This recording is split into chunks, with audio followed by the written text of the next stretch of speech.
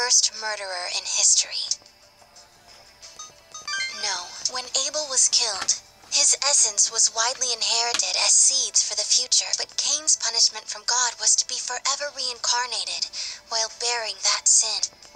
What? It is the accumulation of memories. However often he is reborn, he remembers everything from his past lives and faces his sin. Not so. Cain claimed that he was never loved by God, but that isn't true. If God did not love him, he wouldn't have given Cain time to reflect on his actions. The accumulation of memories is God's love, that he might one day realize the truth. So God's hoping he'll someday understand that, huh? Unfortunately, he seems to have spent the time plotting his revenge against God. Make Abel, God's beloved child, lead demons in a war against God.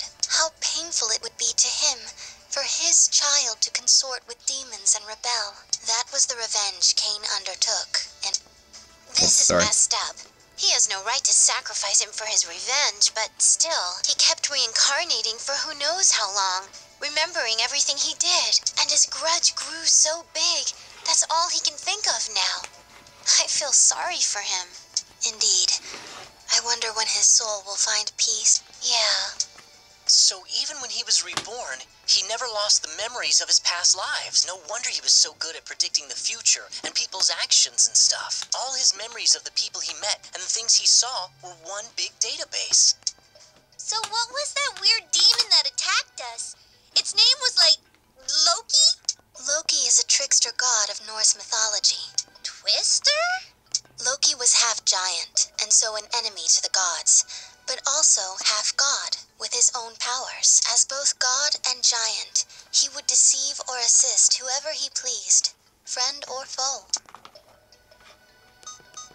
Their interference has wasted our time. Let us get back to summoning Babel. The corruption of Tokyo is progressing even as we speak. Let us hurry. I sure hope that didn't end up splitting into two parts. Oh well, I'll see you guys in the finale of Amane's seventh day. See you guys then.